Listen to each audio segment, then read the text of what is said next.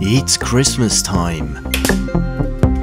I'm the Phintage Collector, and these are my short Advent time stories. Early this year, I was doing a series about alternate shells for Windows 3.x, in particular Norton Desktop and Central Point Desktop. One viewer pointed me at plugin for Program Manager. But Windows 3.x Program Manager didn't have a plugin interface. Correct, it's just the name of the application. I tried locating it at winwellpc.com, but to no avail. But luckily, someone had posted it to archive.org and as they didn't come as disk images but just zip files and as they carry dfile underscore id.diz files, these are most likely original zips as commonly used for files shared through bulletin board systems. Now, it doesn't come with a typical setup.exe or install.exe. When going through the provided readme file, it's described that simply running plugin.exe will do the job so I copied everything over to Drive C and ran plugin.exe from the version 1.0 full as shown.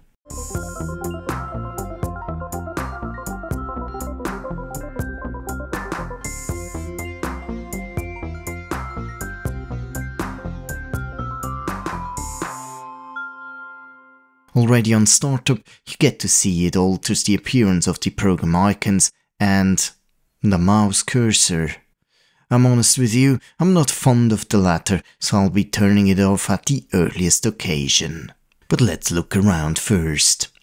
You'll notice there's some kind of resource information added to the menu bar, plus a new quick run menu option which provides shortcuts to commonly used applications.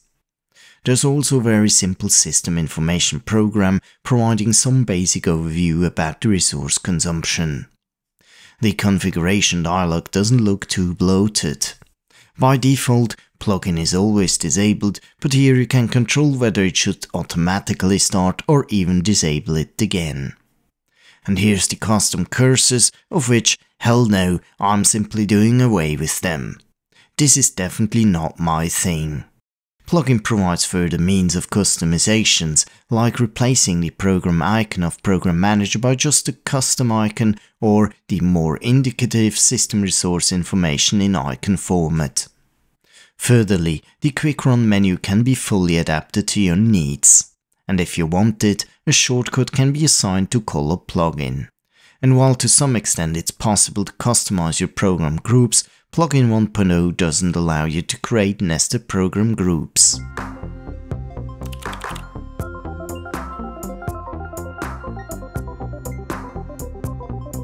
I then also had a brief look at version 1.3, but this seemed to not offer too many new things over version 1.0.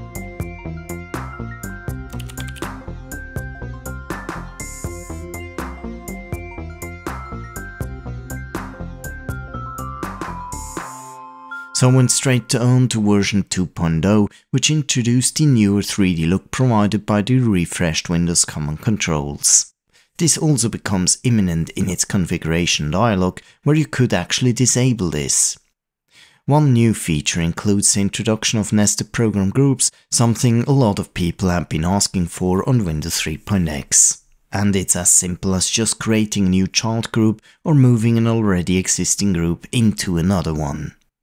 Besides the, for me still unnecessary, custom cursors, it brought a new alerting feature that could be fully customized to warn you on system resource shortage. You can also configure what to display in the title bar. The option menu doesn't look too different, but most striking are the differences in the quick run menu as it was heavily extended. But not only that, while it's still fully configurable, it also provides a task list submenu which shows you other already running applications. As the Quick Run menu also integrates into other windows by means of this extra icon in the title bar, you can then call up all defined actions, including set task list, to give you an overall accessible quick switch option to other running applications. As opposed to the Windows shell replacements I showed you before, plugin is not a shell replacement but just an enhancement to Program Manager. As such, it's more lightweight on resource consumption, not trying to achieve too many things, but just focusing on one thing and this one right. Except for the custom cursors. That lies in the eyes of the beholder. I just don't like them, but tastes are ever different. What do you think about it? Let me know in the comments below. I'm the Phintage Collector, and this was my short Advent time story for today. Thanks for watching, and see you again tomorrow.